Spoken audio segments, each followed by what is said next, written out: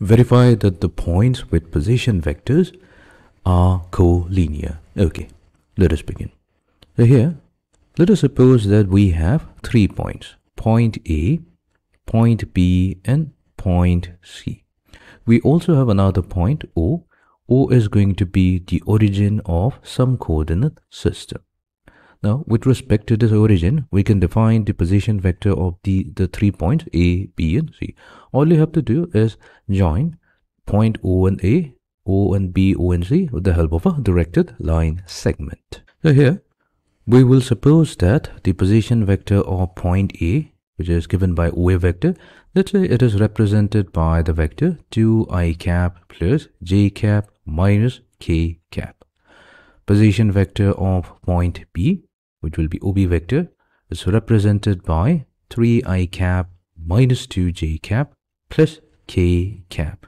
And position vector of point C will be OC vector equals to i cap plus 4j cap minus 3k cap. Fine.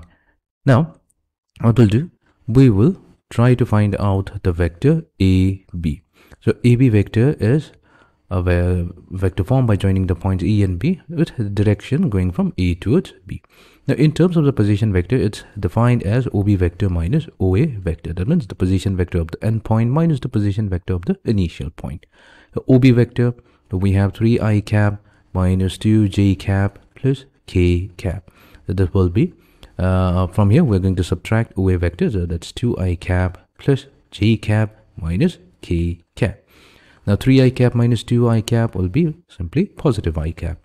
Negative 2j cap minus j cap will be negative 3j cap. And then we have k cap, negative of negative k cap. That's going to give us 2 times k cap. So we're going to label this as number 1. Next what we'll do, we'll join B and C with another directed line segment going from B to C and try to find out the vector BC. The vector BC in terms of the position vector is OC vector minus OB vector. Now what is OC vector? OC vector that's given by i cap plus 4j cap minus 3k cap. And from here we're going to subtract OB vector. The OB vector will be 3i cap minus 2j cap plus k cap. So i cap minus 3i cap will be negative 2i cap.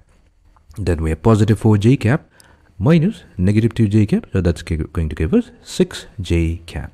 Then negative 3k cap minus k cap will be 4k cap. So this is the vector BC. However, we can uh, take negative 2 as the common factor. So negative 2 times i cap minus 3j cap plus 2k cap. And uh, we can rewrite BC as negative 2 times the vector AB.